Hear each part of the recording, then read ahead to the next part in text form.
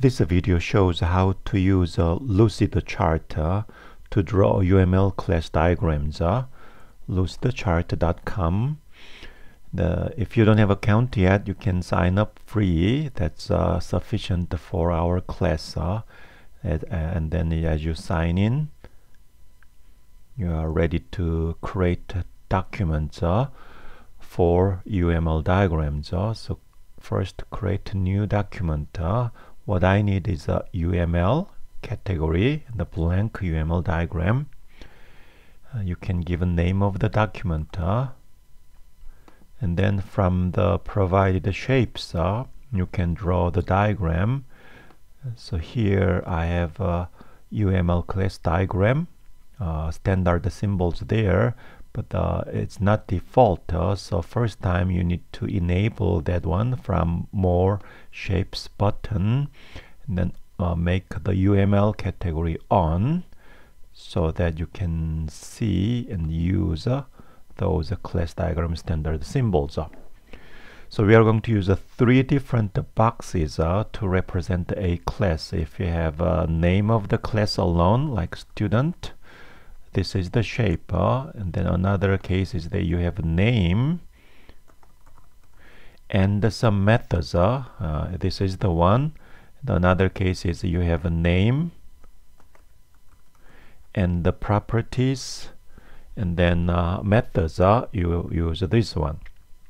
So given the class shapes uh, now you can represent uh, the relationship. So you can draw a line or arrow or those symbols also. Suppose you are going to show just the general association which is a simple line. Draw this way and choose the line by clicking and then change the shape. So there is a no head in the line. So this is general uh, relationship.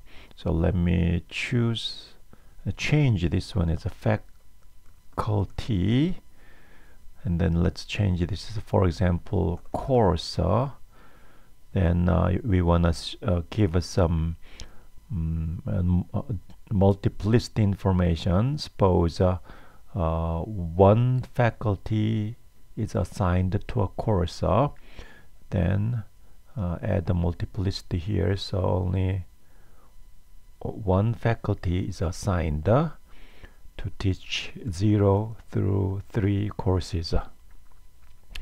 And then if you want to add uh, the activity of this relationship, we want to type a letter that is available here from standard. So drag that one and then type TG is the relationship of the association uh, you can uh, move uh, the text box or resize the text box so on and then in our class no, uh, use uh, the notation the blackened uh, triangle head is used uh, to show the direction of this activity teach the direction is from faculty to course unfortunately the Lucidchart does not have a uh, that symbol under UML class diagram. So a trick is uh, from shapes. Uh, so pick up a triangle and then rotate it to the direction then make it small enough uh, to look like as a triangle and then fill the color with a black then we have uh, the symbol representing the direction of the activity. Suppose uh, we have uh, some other uh, course uh, such as uh, here uh, professor and then professor is a, child of a faculty class, a subclass. Then we draw a line and then choose the line and change the shape. So this is a uh, inheritance relationship. Of course as you're clicking the line you can reverse the line direction if uh, you want to change it. Another one is uh, suppose uh, a professor uses a course, so he has a dependency, uses a relationship, for example, then draw the relationship line. The use is a, is a uh, arrow with a dashed line. So change uh, those shapes uh, and line types uh, accordingly and if you want to do ownership relationship uh, suppose uh, I have another class uh,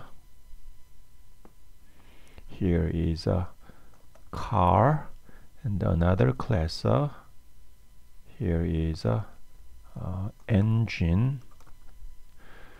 A car owns an engine so let's use ownership relationship. Uh, so this diamond is ownership aggregation but car and engine the relationship is a composition.